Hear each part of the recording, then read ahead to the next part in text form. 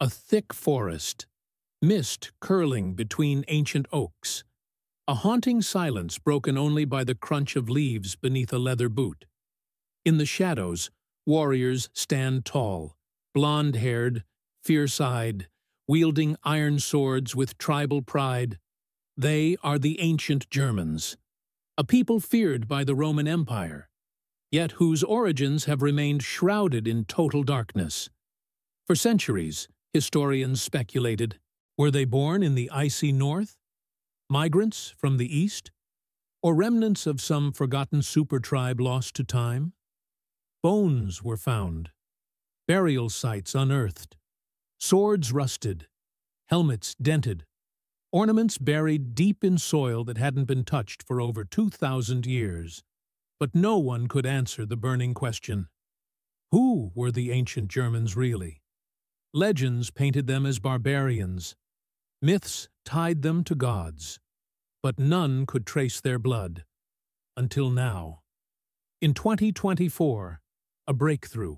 Hidden in a tooth fragment from a warrior's jawbone, scientists extracted something that would rewrite history.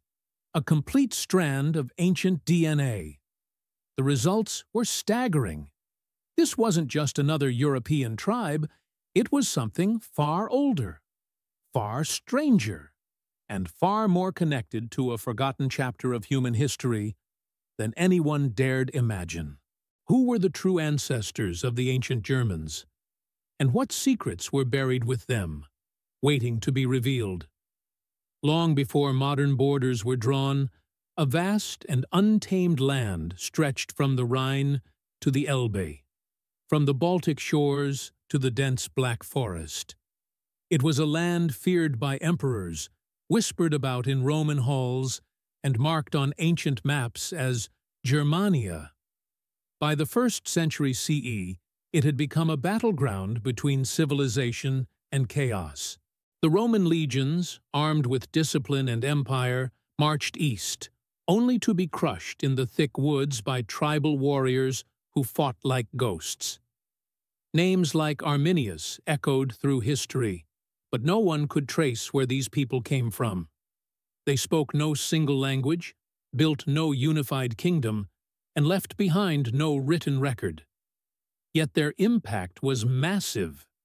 They halted Rome's expansion, reshaped the destiny of Europe, and gave rise to tribes that would one day become modern nations. Over the centuries, archaeologists uncovered thousands of burial sites scattered across northern Europe. Stone-lined graves, cremation pits, ceremonial totems. Each discovery raised more questions. Why did their tools resemble those of distant nomadic peoples? How could their warrior culture emerge with such intensity so suddenly and in such isolation. Theories emerged, migrations from the steppes, survivors of a Bronze Age collapse, or even descendants of the mysterious sea peoples. But none fit perfectly. None explained the strange anomalies found in their burial DNA, anomalies that wouldn't make sense until the day ancient genetics caught up with ancient history. It began not with a dramatic excavation, but with a forgotten box in the archives of a regional museum in Schleswig-Holstein, Germany. Inside, wrapped in layers of brittle parchment, was a single molar, yellowed, cracked, but unmistakably ancient. It had been dug up in 1991 from a burial mound once dismissed as unremarkable, catalogued, and shelved for decades. But in 2024, a young bioarchaeologist named Dr. Lena Vogel, running a digitization project, rediscovered the tooth. Something about it didn't match the other finds. It came from a grave far older than the Germanic tribal period, dating back over 4,000 years. Intrigued, Vogel sent it for genomic sequencing, expecting routine results. What came back shocked her. The DNA wasn't just intact, it was pure, undisturbed by modern contamination, and even stranger, it contained markers never before identified in Northern European samples. There were traces of steppe ancestry, yes, but also a completely foreign mitochondrial signature, one that matched no known population on record. It was as if the tooth had belonged to a ghost population, a tribe lost to both history and genetics. Suddenly, the map of early Europe no longer made sense. If this individual was buried centuries before the rise of the known Germanic tribes, who were they? And why did their genetic markers later reappear in warrior burials from the Roman era?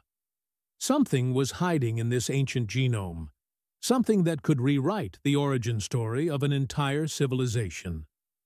Dr. Lena Vogel wasn't alone for long. As news of the strange DNA spread, a team of international researchers formed almost overnight. Geneticists from the Max Planck Institute, historians from the University of Cambridge, and even computational linguists joined forces. They called it Project Schattenstamm, Shadow Tribe. The goal, trace the genetic anomaly through time using ancient remains across Europe. But it wasn't easy. Most burial sites had been looted or degraded by time. Bones were fragile, often too damaged to extract viable DNA. And even when samples were recovered, many showed mixed ancestry, blurred lines caused by centuries of intertribal contact. The team needed something pure, isolated, untouched by Roman, Celtic, or Nordic influence. Their breakthrough came from an unlikely place, a peat bog in Denmark. Preserved in cold, oxygen-starved soil, the body of a warrior had surfaced during construction. His skin was leathery, his features still visible. Most importantly, his DNA was intact. And when analyzed, it revealed something stunning, a near-perfect match to the molar from Schleswig-Holstein. Same mitochondrial line, same autosomal markers. Two individuals, separated by nearly 1,000 years, carried the same genetic ghost. This was no coincidence. Digging deeper, the team identified burial patterns across the region that defied established timelines. Sacred symbols found in graves 2,000 years apart. Shared rituals. Identical weapons. It wasn't just DNA. They were following the trail of a hidden people who had silently passed through generations, invisible to history, yet shaping it from the shadows. The genome analysis was relentless. High-resolution sequencing mapped every strand, every mutation, every ancient anomaly. Using next-generation AI modeling, the team reconstructed lineage trees population flows, and ancient admixture events stretching back nearly 6,000 years. The results shattered established narratives. The individuals from Schleswig-Holstein and the Danish bog shared DNA with a group previously unknown to science, a distinct population that diverged from Eurasian hunter-gatherers long before Indo-European migrations began. They were not Celts, not Romans, not even early Germans as we know them. Their closest genetic cousins? A forgotten branch of Neolithic steppe tribes from the Volga region, believed to have vanished before the Bronze Age collapse. But this group hadn't vanished. They had moved west, in silence, long before recorded history, integrating into early Germanic societies from the inside out. This explained the anomalies, the warrior traditions, the sudden rise of powerful tribal elites in the first centuries BCE. These weren't spontaneous cultural blooms, they were legacies, preserved and passed down by a hidden core lineage. Even more startling, the mitochondrial DNA matched samples from elite burials in southern Sweden, suggesting the Shadow tribe may have seeded leadership across vast distances, uniting scattered peoples under a forgotten genetic banner. The term Germanic suddenly seemed inadequate. These weren't just tribes reacting to Roman aggression.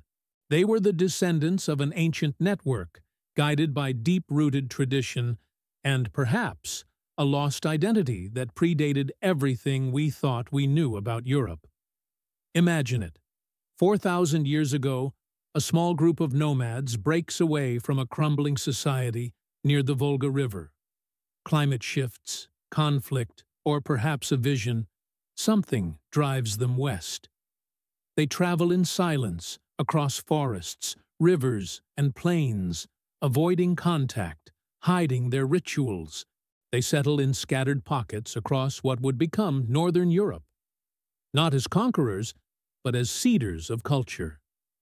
Their burial practices remain the same. Their oral myths, sacred symbols, and tribal structures stay intact. Slowly, they merge with emerging local groups, hunter-gatherers, early farmers, but always maintaining a core identity passed down through blood. Over centuries, their descendants rise to prominence, forming the spiritual and political backbone of what would later be called the Germanic tribes. By the time Rome reaches the Rhine, these ancient bloodlines are deeply embedded. The warrior leaders, the ones organizing resistance against the empire, carry more than just weapons.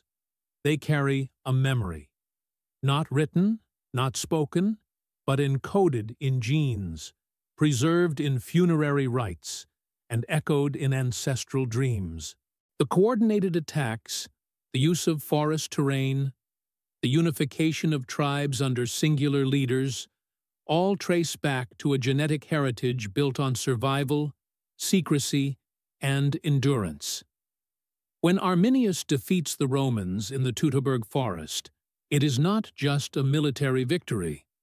It is a moment thousands of years in the making the resurfacing of a shadow tribe whose roots stretch back to the forgotten steppes. What we thought were scattered barbarians were in truth fragments of a single ancient design, a network of blood and memory buried beneath Europe's oldest soil. The discovery of this ancient DNA didn't just change how we see the ancient Germans, it forced historians and geneticists to reconsider the entire framework of European prehistory. For centuries, we painted history with broad strokes, migrations, invasions, collapses, but hidden beneath those narratives was a quieter, more complex truth. A lineage that survived not through conquest, but through adaptation, ritual, and selective integration. The so-called barbarians were not a chaotic force reacting to Rome, but rather the echo of something much older, something methodical, deliberate, and deeply rooted in the human story. Today, the descendants of this shadow tribe walk among us. Their blood runs through millions of Europeans, and yet their true name, their language, their myths are gone. All that remains are symbols in grave goods, genetic signatures in ancient teeth, and the haunting silence of a people who chose invisibility over extinction. This isn't just archaeology, it's memory, encoded in bone and soil. So next time you hear of Germanic tribes, of warriors in the woods and empires at war, remember, history isn't always written by the victors. Sometimes it's whispered through generations, hidden in DNA, waiting millennia to be heard. If this story fascinated you, don't forget to like, subscribe, and dive deeper into the mysteries of our ancient past. There are still countless secrets buried just beneath the surface.